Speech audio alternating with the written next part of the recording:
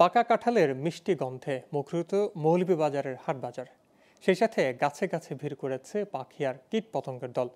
প্রতিটি কাঁঠাল গাছে ঝুলন্ত কাঁঠাল। প্রত্যন্ত অঞ্চলে সকাল থেকেই ক্রেতা বিক্রেতার হাক ডাকে সরগরম হাট বাজার আর কাঁঠালের মিষ্টি রসে চিরা মুড়ি খাওয়ার পড়েছে ধুম। এবার ভালো ফলন ও বেশি দাম পেয়ে খুশি চাষিরাও। মৌলভীবাজার থেকে একে অলিকের তথ্যচিত্রে ডেস্ক রিপোর্ট। আসছে আষাঢ় শ্রাবণ মাস, তবে জ্যৈষ্ঠের শেষ দিক থেকেই পাকা কাঁঠালে সয়লাভ বাজার। এবার মৌলভী বাজারে দুই হাজার দুইশো আটাশি হেক্টর টিলা বেষ্টিত ও নিচু জমিতে চাষ হয়েছে কাঁঠাল। এর মধ্যে সবচেয়ে বেশি কাঁঠাল হয়েছে কুলাউড়া ব্রাহ্মণবাজার শ্রীমঙ্গল, কমলগঞ্জ রাজনগর, জুড়ি, বড়লেখা উপজেলার প্রত্যন্ত গ্রামে। আর কাঁঠালের ন্যায্য মূল্য পাওয়াতে খুশি কাঁঠাল চাষিরা। দামটা বালা। এখানে পাইকার বেশি হয় এই কাঠলগুলো আমরা অন থেকে নেই কিনে বাড়ির না মানুষের নবীন খায় বালা। পাবনা বাজার আইসি নবী থেকে খাড়ল নিবার লাগে।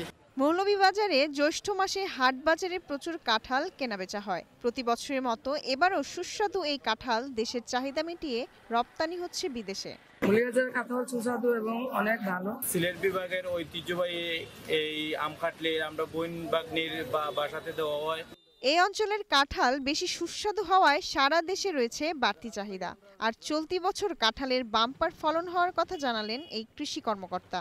দেশের বিভিন্ন অঞ্চলে মৌলভীবাজার জেলার কাঁঠাল বাজারজাত হচ্ছে এবং বাইরে যাচ্ছে আমরা আশা করছি এই কাঁঠাল দিন দিন আরও আবাদ সম্প্রসারিত হবে এবং কৃষকদেরকে প্রয়োজনীয় পরামর্শ আমরা দিয়ে যাচ্ছি এবং মৌলভীবাজারের লোকজন কাঁঠালের আবাদে উৎসাহিত হচ্ছে এবং বিদেশে যাতে রপ্তানি সেই ব্যাপারে উদ্যোগ গ্রহণ করছে। কৃষকদের পরামর্শ ও সরকারিভাবে সহযোগিতা করা হলে বাণিজ্যিকভাবে কাঁঠাল রপ্তানি করে বিপুল রাজস্ব আয় সম্ভব বলে মনে করছেন সংশ্লিষ্টরা।